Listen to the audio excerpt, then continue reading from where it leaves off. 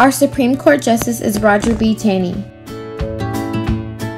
Roger B. Taney was born on March 17, 1777, in Calvert, Maryland. His parents were Michael Taney, a planter and a politician, and Monica Brooke.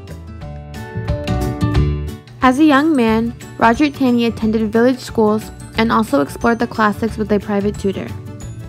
At the age of 15, he attended and graduated from Dickinson College in Pennsylvania in 1795. He then studied law with Judge Jeremiah Chase of the Maryland General Court. He was admitted to the bar in 1799 at Annapolis and served one year in the Maryland House of Delegates. In 1806, he married Anne Key. Roger B. Taney was a member of the conservative, property conscious Federalist Party until 1812. He returned to the Maryland House of Delegates in 1816 when, as a political maverick, he was elected to the state senate. Juries were impressed with his work in the courtroom, and in 1827 he was appointed Attorney General in Maryland. Taney aligned himself with Andrew Jackson, the leader of the Democratic Party, and he later got elected president in 1828. He then reorganized his cabinet in 1831 and appointed Taney Attorney General. In 1833, President Jackson appointed him Secretary of Treasury.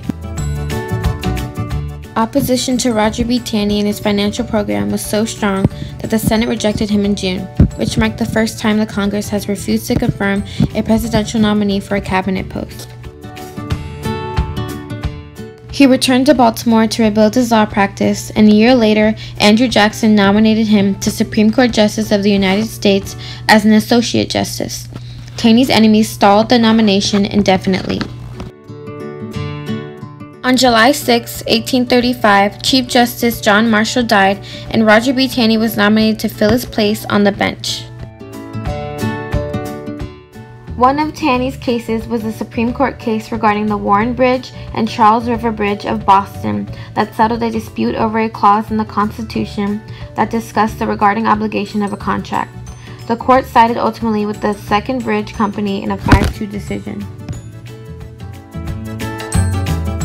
Roger B. Taney's most famous case was a Supreme Court case known as the Dred Scott decision, where the ruling by the court said that individuals of African descent that were brought into the United States and kept as slaves were not protected by the United States Constitution and would never be considered U.S. citizens. On March 15, 1857, Taney delivered a pro slavery decision in the Dred Scott v. Sandford case that ruled against Scott in a 7 2 decision, declaring that African Americans were not United States citizens and thusly had no right to sue. Our Supreme Court case is Whitney v. California. Charlotte Anita Whitney was convicted of being a member of the Communist Labor Party of California. She violated the California Criminal Syndicalism Act. She was charged because she was participating and assisting in the Communist Labor Party when he challenged her conviction on the grounds that the CCSA violated her freedom of speech under the First and Fourteenth Amendment. The court argued that freedom of speech guaranteed by the First Amendment was not an absolute right.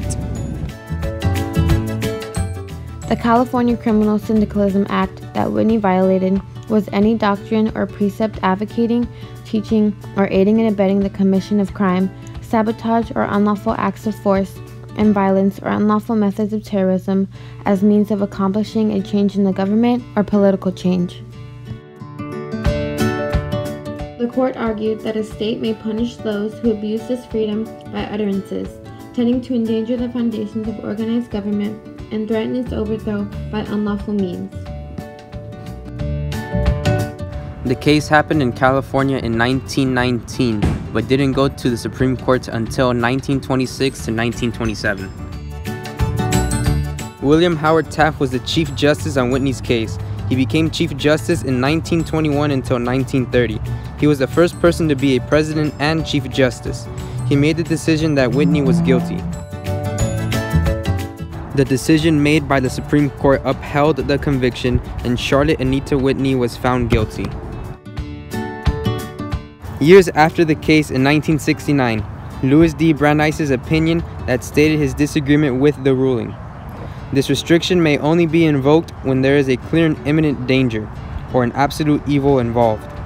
got the court to explicitly overrule the decision on Whitney's case, finding her not guilty.